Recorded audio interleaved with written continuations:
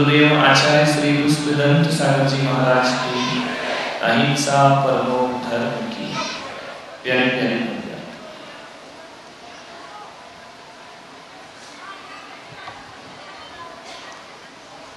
उसको नहीं देखा हमने कभी। हमें उसकी ज़रूरत क्या होगी? रे माँ, तेरी सूरत से बदलत भगवान की सूरत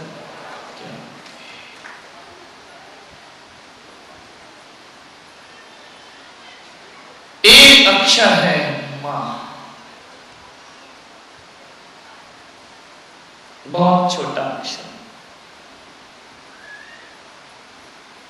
दुनिया के सभी अक्षरों को सीखने के लिए स्कूल जाना पड़ता है।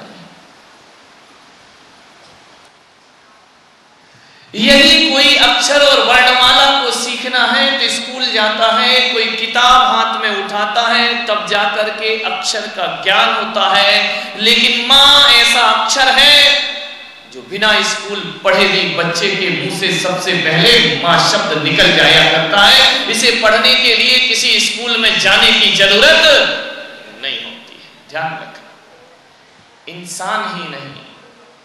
मेरे भाई, माँ शब्द तो जानवर का बच्चा भी बोल दिया गाय का बछड़ा सबसे पहले माँ शब्द माँ के लिए किसी भी स्कूल में जाने की ज़रूरत नहीं है। माँ के लिए किसी शिक्षक से सीखने की ज़रूरत नहीं है। माँ शब्द। एक छोटा सा अक्षर है, एक अक्षर। लेकिन हकीकत में देखो तो एक अक्षर एक अक्षर नहीं है। दुनिया के सारे शब्द शब्दकोश किसी में समाहित है तो एक माँ में समाहित हो जाया करते हैं। माँ शब्द भले एक अक्षर का हो, लेकिन माँ शब्द किसी विश्वविद्यालय से कम नहीं हुआ करता है। माँ शब्द किसी स्कूल से कम नहीं हुआ करता है। माँ से बड़ी यूनिवर्सिटी दुनिया में कोई दूसरी नहीं हो सकती माँ अरे जिस शब्द को ज़ुबान पर लाओ तो ज़ुबान मीठी हो जाती है। माँ शब्द वो शब्द है कि कानों में यदि चला जाए तो अमृत घुल जाया करता है। और माँ शब्द वो शब्द है यदि किसी अनजान महिला को भी माँ कह दिया जाए तो उसका आशीर्वाद प्राप्त हो जाया करता है माँ कह दो तो गौरव बढ़ जाता है माँ कह दो तो सम्मान बढ़ जाया करता है इतना महान है एक माँ शब्द ध्यान रखना कभी किसी बुढ़िया को बुढ़िया कहना और कभी किसी बुढ़िया को माँ कहना तो ध्यान रखना दोनोदोनों में बड़ा अंतर पड़ जाया करता है। विचार करना माँ में ममता का शहद समाया है। माँ में मिठास समाई हुई है। और हम भारत के लोग माँ कहना जानते हैं और जिस देश के लोग माँ कहना नहीं जानते हैं जिस देश में माँ शब्द नहीं होता है उस देश में बाप का सम्मान भी नहीं होता है और उस देश में माँ बाप की इज़्ज़त नहीं होती है। उस देश में माँ और बेटे के रिश्ते व्यक्तिगत स्वार्थ की लाभ हानि की तुला पर तुला करते हैं। हमारा भारत देश है जो माँ की कीमत जानता है। माँ, तुम्हारा बेटा क्या बोलता है? मामा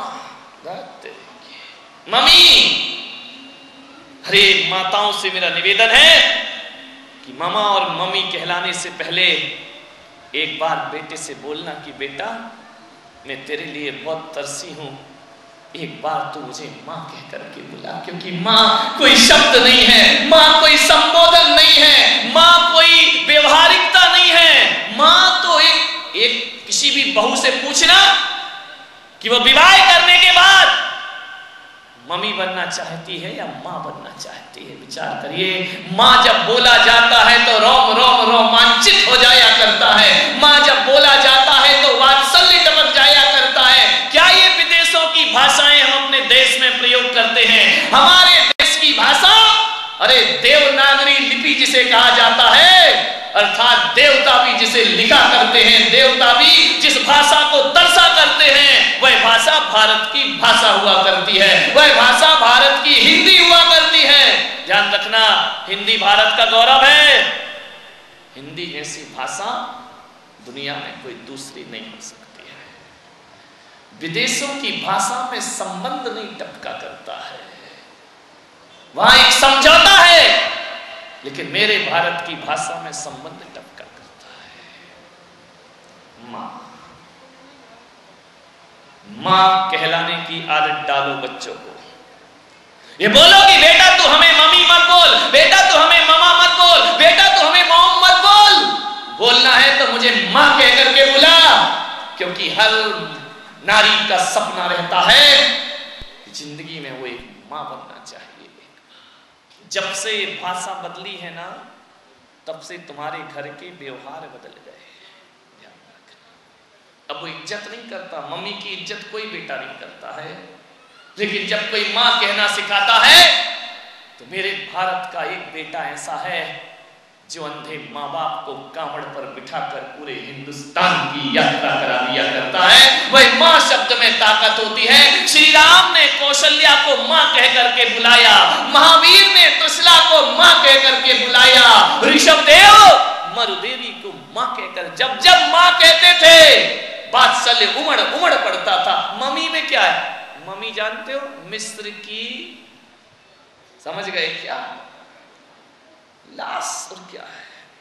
पिताजी को डैड कहने लगे, बाप को भी मारो और माँ को भी मारो। हो गया तुम्हारा धर्म, ध्यान रखिए। विचार करना है, आपको सोचना है। माँ शब्द बोलने का प्रयास करिए। अपने बच्चों को सिखाएँ कि बेटा माँ ममता की गागर है ध्यान रखना। ज़िंदगी तीन लोगों से जुड़ती है। ज़िंदगी के तीन आयाम होते हैं। बचपन होता है, जवानी होती है और बुढ़ापा होता है। और एक बात याद रखना, बचपन जाता है तो जवानी आ जाती है, जवानी जाती है तो बुढ़ापा आ जाता है। वो बुढ़ापा आ जाए तो फिर वो कभी जाता नहीं है, बल्कि अपने साथ लेकर बुढ़ापे के बाद कुछ नहीं आएगा। अंतिम रील है ज़िंदगी की, ध्यान रखना। तीन लोगों से संबंध बनेगा बचपन माँ से जुड़ता है। जवानी महात्मा से जुड़ती है और बुढ़ापा परमात्मा से जुड़ा करता है। ध्यान रखिए। एक माँ होती है, एक महात्मा होते हैं और एक परमात्मा होते हैं। बचपन बिगड़ता है तो माँ संभाल देती है। जवानी बिगड़ती है तो महात्मा संभाल देते हैं। और बुढ़ापा बिगड़ता है तो परमात्मा संभाल दिया करते। लेकिन एक बात ध्यान रखना कि माँ में भी माँ है और महात्मा के पीछे भी माँ है और परमात्मा के पीछे भी और इन सबको भी छोड़ो तो तुम एक आत्मा हो और आत्मा के पीछे भी माँ शब्द छिपा हुआ है। माँ से रिश्ता कहाँ तोड़ोगे? हर जगह माँ मिलेगी। माँ से संबंध कोई नहीं तोड़ सकता इस धरती में। अरे, अपनी माँ से संबंध तोड़ने का मतलब है अपनी आत्मा से संबंधों को तोड़ लेना है।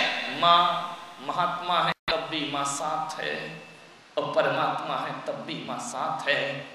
और सिद्धालय में बैठी कोई शुद्ध आत्मा है तो उसके साथ भी माँ साथ हुआ करती है। हम वो लोग जिसने माँ से रिश्ते जोड़े। ध्यान रखना हम भारत के लोग वो लोग हैं कि सबसे ज़्यादा सम्मान यदि किसी को दिया जाता है तो माँ को दिया जाता है। हम जिस धरती का अन्न खाते हैं जो धरती हमारी भूख मिटाती है, हम उसको धरती माँ कह करके बुलाया करते हैं। ध्यान रखिए। जिस आकाश के नीचे हम रहते हैं, जो हमारे ऊपर छत्र बन करके बना है झिलमिलाता है तारों के साथ, उस आकाश को हम आसमां कह करके बुलाते हैं। उसमें भी माँ शब्द छिपा हुआ है। ध्यान रखना, और जो गाय हमें जीवन भर दूध पिलाती है ना, हम उस जानवर को भी गौ माता कह करके बुलाया करते हैं। उससे भी माँ के रिश्ते जोड़ लिया करते हैं और हमारे देश की नदियाँ जो हमारी प्यास बुझाती हैं, हम उसे गंगा मैया कह करके बुलाया करते हैं। विचार करिए, जो जन्म देती है, वह भी माँ होती है। और अपरिचित कोई मिल जाए तो उसे भी हम अपनी माँ कह दिया करते हैं। और जिस देश में हम रहते हैं देश को भारत माता कह करके बुलाया करते हैं। हमने माँ का दर्जा अपने देश को दिया। हमने माँ का दर्जा अपनी जमीनों को दिया। हमने माँ का दर्जा आसमान को दिया। और तो और मेरे भाई, यदि वो अक्षर किसी कागज़ पर लिख दिए जाए तो हम उसे सरस्वती माँ और जिनवाणी माँ कह करके बुलाया करते हैं। जो हमारा कल्याण करती है, वह भी जिनवाणी माता बन जाया हमने हर किसी से माँ के रिश्ते जोड़े ध्यान कहा नहीं है? कौन छोड़ सकता है माँ को? माँ के संबंध ही जुड़ते हैं माँ की महिमा अपार है लोग कहते हैं कि जो सन्यास ले लेता है महात्मा बन जाता है वह माँ से रिश्ता तोड़ देता है मैं कहता हूँ बिल्कुल गलत यदि महात्मा है तो माँ तो साथ खड़ी है ध्यान रखिए लोग कहते सारे दुनिया से रिश्ता तोड़कर मोक्ष चले जाते हैं यदि परमात्मा है उसके साथ भी माँ है और एक इंद्री पेड़ को सोचते हो ना कि माँ बाप नहीं होते। जैन दर्शन कहता उन पेड़ में भी आत्मा है तो वहाँ भी उनकी माँ साथ में। बाप का कोई ठिकाना एक आध शब्द बताओ जिसमें बाप का नाम आता हो। है कोई जहाँ बाप लगाया जाए? आज तो माँ की महिमा गाई जाएगी तालियाँ बजा दो। रोज रोज पिटती हो, आज तुम्हारा सब तुम क्यों बजा रहे तुम्हारी तो धुलाई हो रही है। ना इनको बजाने दो भाई। रोज रोज कब तक इनकी धुलाई होती रहे बचपन को संवारना है तो माँ की ज़रूरत है। और मैं तो आपसे निवेदन करता हूँ, बचपन में माँ का आशीर्वाद ज़रूर लेना और जवानी में महात्मा का आशीर्वाद ज़रूर लेना।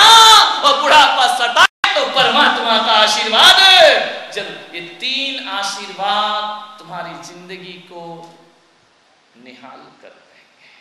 ध्यान रखना शब्द सागर से गहरा, हिमालय से ऊँचा। आसमां सा असीम और धरती सा